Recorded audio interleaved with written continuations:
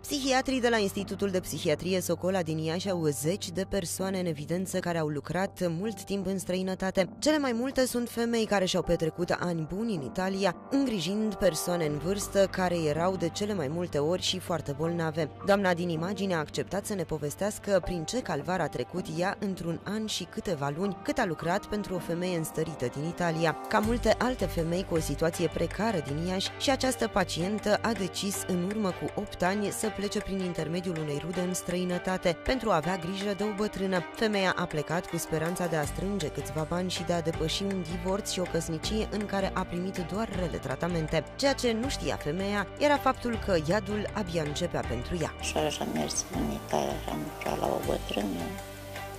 La bătrână, cu ce m-am stresat foarte tare. Dar cu ce vă stresa?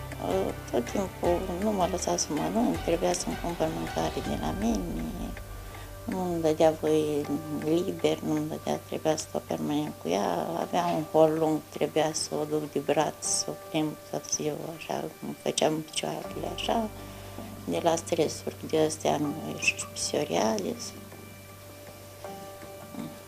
Limba nu știam, de când am plecat știam să spun numai da și nu. Și a venit foarte greu, făcea ce vrea de mine. Am chinuit așa până ce am mai învățat un pic uh, din limbă. Am stat la ea acolo un an și patru luni. Deci încep să agrava boala mai tare, cu dureri de cap, dormeam stresat. Și am venit cu aia în România și acolo mai și psoriazis și e foarte greu. Nu mai puteam și amețeam, numai cu gândurile. Și pastorul, sora mea, m-a dus la doamna doctor. Femeia ne-a povestit faptul că reușea să vorbească cu cei de acasă foarte rar și puțin, pe ascuns, pentru că bătrâna era foarte strictă. Nu, îmi lipsea absolutitate, și mâncarea, și tot, și stăteam și mă gândeam pe asta, că lucram și lucram pentru mâncare și cazare, cum ar veni, că tare puteam să din ce aia din 500 de euro, eu îmi cumpăram de toate. Am stare să mă pui să-mi plătesc și chirie. Nu, nu aveam zi liberă, să zic și eu. Mai sunt, mai erau români care după aceea mai auzeam de prin parc, așa când mai mă duceam, mă trimitea la cumpărături să-i fac piața. Făceam piața când ajungeam acasă, nu-i plăcea, mă lua și o dădea la gunoi și mă lăsa să o duc înapoi. Eu cum puteam să mă duceam, mă duceam înapoi și eu duceam tot pe aia. Și o zic acum mai bună. Dacă era și ea... Deci stresul era prea mare. Da, da, era 3 km până la piață. Mă trimitea la măcelărie, spunea să iau fetini de polo, de, de pasări, de porci. Când ajungeam acasă, mi-a spus de vițel. Ar merge 3 km dus pe jos, vin înapoi. Asta, tot timpul eram stresat, niciodată, nu aveam liniște, adică alea. După aia nu m-am mai găsit și de asta, deci m-am retras acasă. Mai ales când nici de acum, cum să vă spun dumneavoastră, nici cu vederile nu mai stăteam așa bine, dacă eram psioriază, corpul nu se folosesc.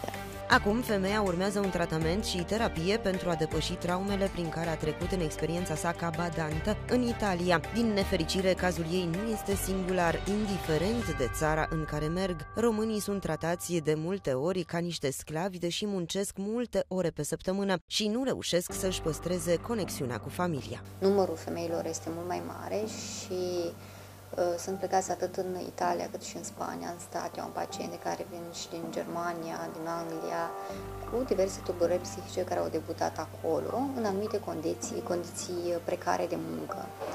Uh, de asemenea, o importanță o are și vulnerabilitatea individului către de a dezvolta o tulburare psihică, mai ales uh, acele persoane care au în familie părinți cu sau verișori sau frați cu o tulburare psihică. Însă, dacă o persoană pleacă în străinătate și lucrează într-o anumită, în anumite condiții de muncă uh, mai grele uh, și nu au uh, perioade de, de somn corespunzătoare, medii 8 ore pe zi, nu au perioade de odihnă pe lângă orele de muncă, în timp apar, pot apărea niște afecțiuni care se țină de sfera noastră psihiatrică. Tragic este faptul că femeile plecate în străinătate își abandonează copiii din dorința de a le oferi o viață mai bună, însă de cele mai multe ori familiile ajung să se destrame.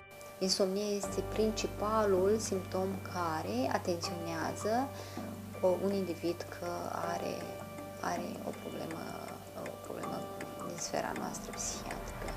Astfel că în timp poate dezvolta pacientul respectiv o depresie sau chiar o psihoză. Um, este îngrijorător că în ultimii ani uh, sunt plecați din ce în ce mai mulți români cu copii minori lăsați acasă în grija altora, fie în grija soțului, respectiv soției, un membru din familie plecat în străinătate la muncă și celălalt membru rămâne acasă și are grijă de copii, fie copiii rămân în grija bunicilor, unchi, vecini chiar.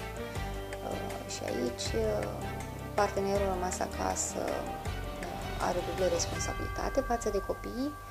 Copiii, la rândul lor, simt un dor față de partenerul, față de părintele plecat în străinătate și dacă nu sunt corespunzători supravegheați, pot, pot în timp să dezvolte chiar și o tulburare psihică. Sunt atâtea cazuri mediatizate cu copii cu, cu tentative suicidare, chiar cu suicid.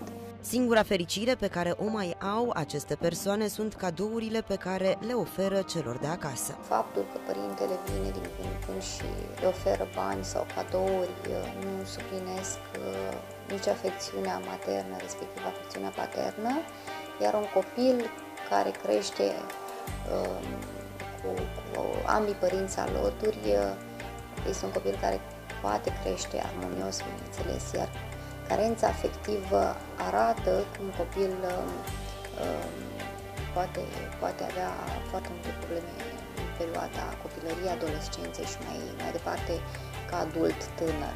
Sindromul Italia a devenit obiectul de cercetare al psihiatrilor atât din țară cât și din străinătate și este un fenomen care capătă amploare mai ales în rândul imigranților.